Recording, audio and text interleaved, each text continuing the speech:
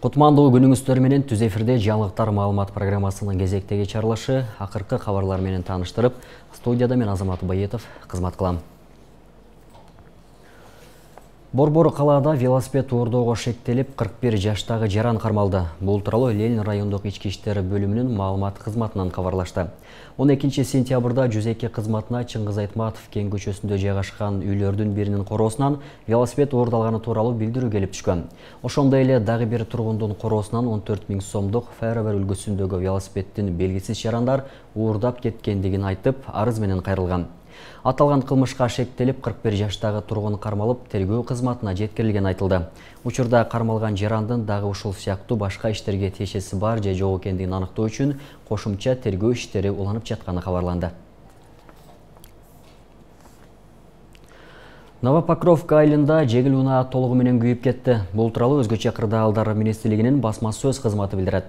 Маалыматка ылайык Чүйө болсун Ысык Ата районундагы Новопокровка айылында жолдун жээгинде Volkswagen үлгүсүндөгү унаа толугу менен күйгөн. Өрт саат 12.20да чектөөгө алынып, саат 12.38де толук өчүрүлдү.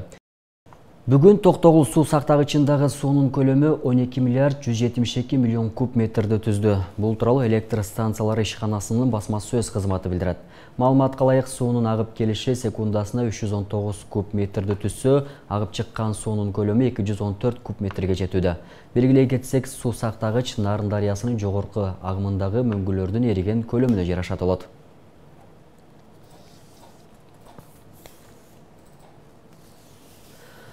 Бүгін Ош шаарынын Туран муниципалдык аймактык башкармалыгында курулган 120 орундуу Аймончок балдар бакчасы ачылды. Бала бакчанын салтанаттуу ачылышына Ош шаарынын мэри Алмаз Мамбетов, шаардык кеңештин төрагасы Салман Назылбеков, тийиштүү мекемелеринин жетекчилери жана жергиликтүү тургундар катышты. Шаар жетекчиси жаңы бала бакчанын ачылышы менен жергиликтүү тургундарды бөбөктөрдү куттуктап, бакчага акылдуу доскаларды белекке берди. 120 орундуу Аймончок балдар бакчасы жергиликтүү казынанын эсебинен курулуп, курулуш иштери СК Лидер жоопкерчилик чектелген коому тарабынан жүргүзүлгөн.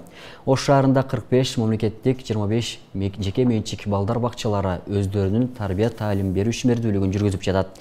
Жалпысынан аларга 15580 бала тартылган.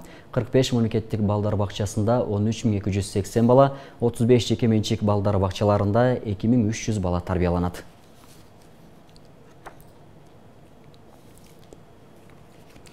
Бишкектеги мектептердеги окуучулардын жана мугалимдердин дене табы күн сайын өлчөнөт. Бул тууралуу Бишкек шаардык мэриясынын билим берүү башкармалыгынын административдик укук бөлүмүнүн баш кадиси Чынара Исакова маалымат жыйынында билдирди.